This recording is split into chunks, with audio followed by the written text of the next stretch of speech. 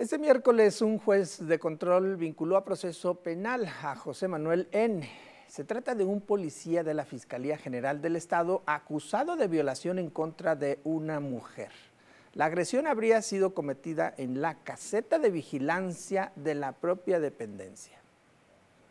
El policía de la Agencia de Investigación Criminal, detenido y acusado de violación, permanecerá tres meses en prisión preventiva mientras se resuelve su situación jurídica. José Manuel N. enfrenta los cargos de violación agravada por cometerse con abuso de poder y por haber sido dentro de un edificio público, bajo la causa penal 395-2021.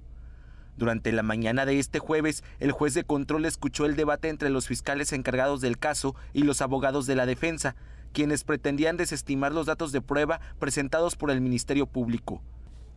En una audiencia que duró menos de tres horas, el juez dictó el auto de vinculación a proceso al considerar que José Manuel es sospechoso de haber cometido el delito que se le imputa.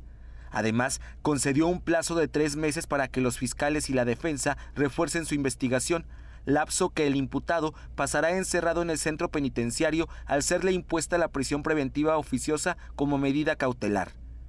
Los hechos que se le imputan ocurrieron el 5 de marzo, cuando la víctima acudió a buscar a su esposo a la caseta de vigilancia de la Delegación Sureste de la Fiscalía General del Estado.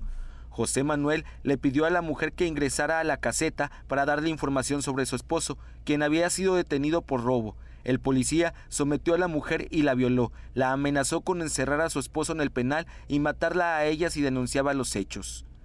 Con la edición de Miguel Muñoz, para Telezócalo, Luis Durón.